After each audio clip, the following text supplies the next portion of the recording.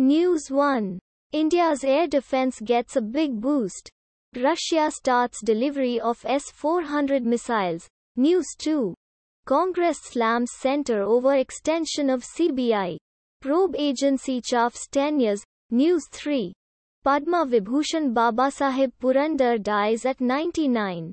PM Modi says, pained beyond words. News 4. Delhi Gov to submit proposal on lockdown to SC today to tackle air pollution. News 5. Curfew in Maharashtra's Amravati expanded to four towns as BJP stages protest. News 6. Top Maoist leader with 50 lakh rupees bounty killed by commandos. News 7.